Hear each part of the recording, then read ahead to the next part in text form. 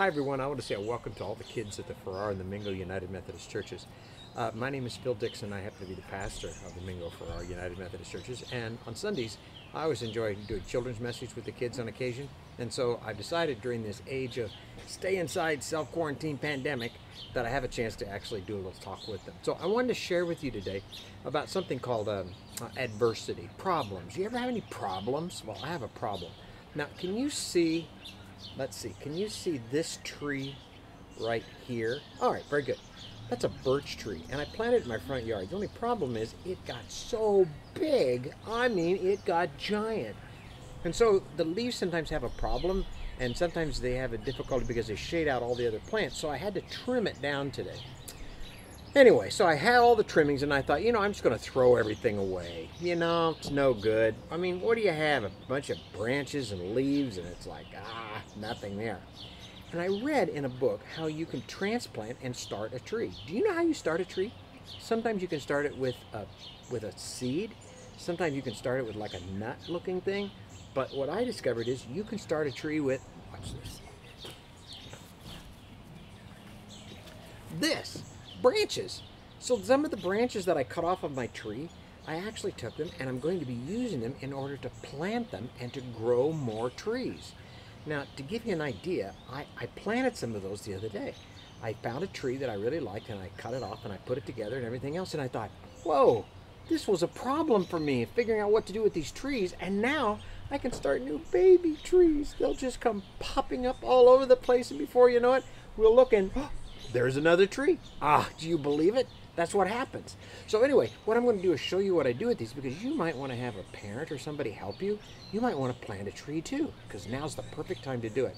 And then you use this problem to be an opportunity an opportunity to grow something big and beautiful that you can plant and put in your house. You can put in other people's houses. You can give them away, whatever you want to do. You could plant a tree, and then when it gets great big, you can say, I planted that tree. I did, yes.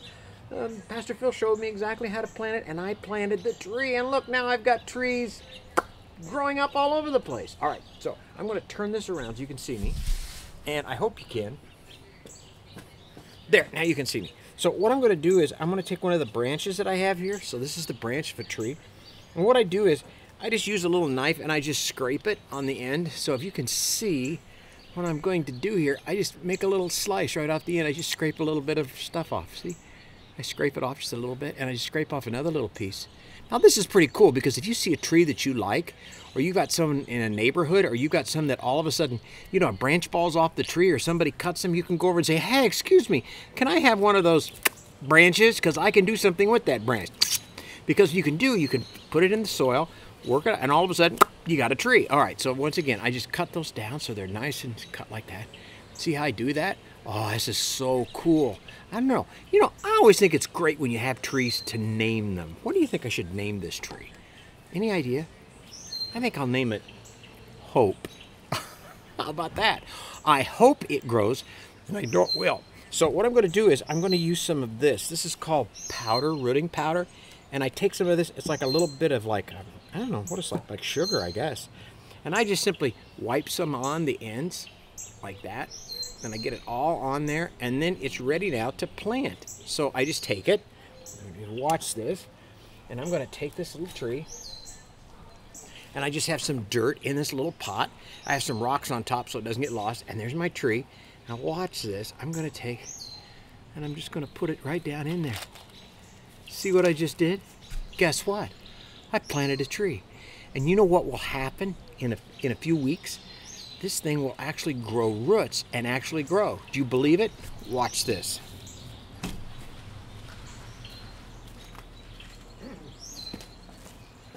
This was a little teeny tree that I started uh, probably about three, four weeks ago. Now look at it. I mean, it's almost ready to branch out and uh, be a shade tree. I mean, who knows? Maybe you can come over to my house and climb it. I mean, may want to give it a few more weeks, but that's what it looks like. Now, what's so cool about that is, is that you can imagine you can take something that looks like it's absolutely dead, like there's nothing there, and you can turn it into a tree. And I love it because it's like a way of saying, God, thank you so much for my tree. And what's the name of my tree? Hope. I love that word, hope. This is my hope tree. And you know what? I just pray that God will just give it blessings and hope that one day it'll grow nice and big and tall. And you know what else?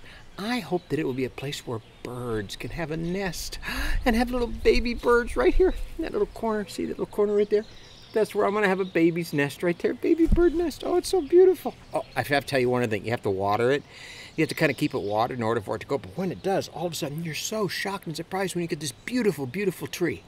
Now, there's a wonderful Bible verse that says, Rejoice in the Lord always. And again, I say, rejoice. So I want to tell you, I am so happy because if I hadn't trimmed my tree, I would not have little branches that I could suddenly turn into another tree that I can grow into something big and beautiful. Because before I know it, all of a sudden, the tree will start growing like this. It's got one leaf, two, three leaves, four leaves, five leaves, six leaves. Oh my goodness. And then right here, that's where there's going to be a bird's nest. I know. In my tree called what? Hope. I love that word. Hey, let's have a prayer together. God, I give you thanks for every boy and girl here today. I give you thanks for your trees, and I give you thanks for green, and I give you thanks for the birds, and I just give you thanks for opportunities we have just to learn what it means in order to take something that usually is dead and make it alive again. I just pray you'll bless this tree and you'll bless every boy and girl here. You'll send 100,000 angels to surround them and take care of them. And that in any time we have adversity or problems or difficulties, we know that Jesus is with us and we can use it as an opportunity to grow something green for God. Oh, I love it. Be with every boy and girl, I pray. And everybody said, Amen. Like I always do at church. Friends, go be the church. And you say, Go be the church. See you next week. Bye.